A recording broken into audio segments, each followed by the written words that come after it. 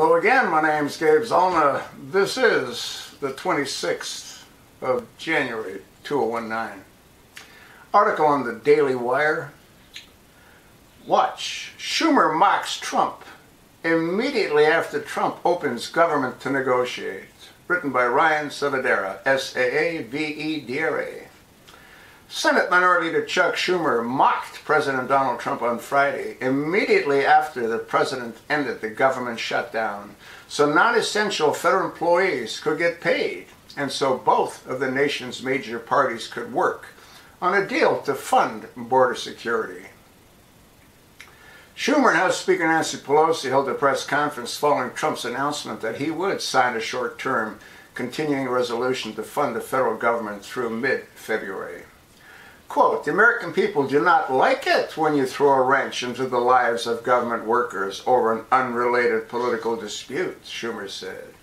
Quote, working people throughout America empathized with the federal workers and were aghast at what the president was doing to them. Hopefully now the president has learned his lesson, end quote. Quote, not once the president signed the continuing resolution, we in Congress will roll up our sleeves and try to find some agreement on border security, Schumer continued.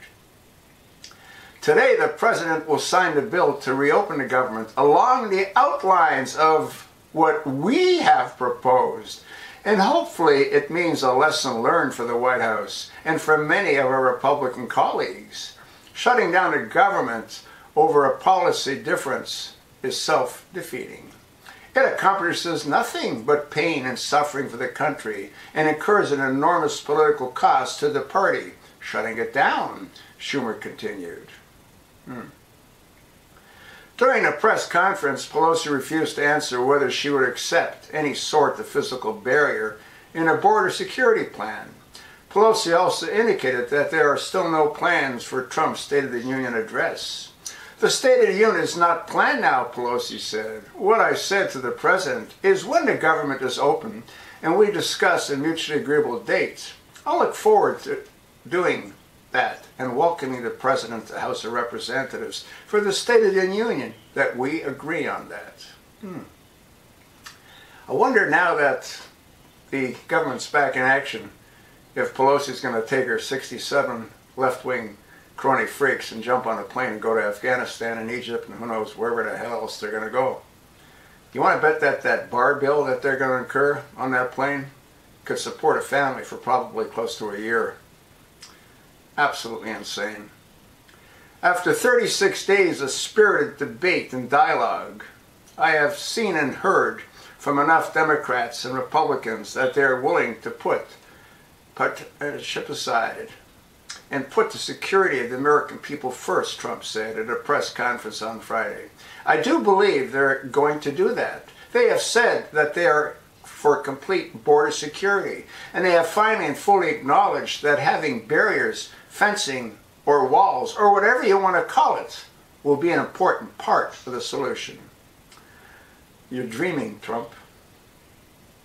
So let me be clear really have no choice but to build a powerful wall or steel barrier, Trump concluded.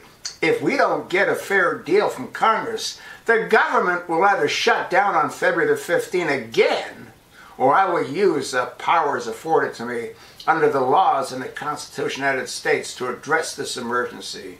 We will have great security.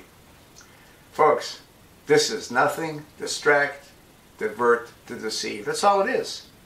It's just nothing more than that. You think not?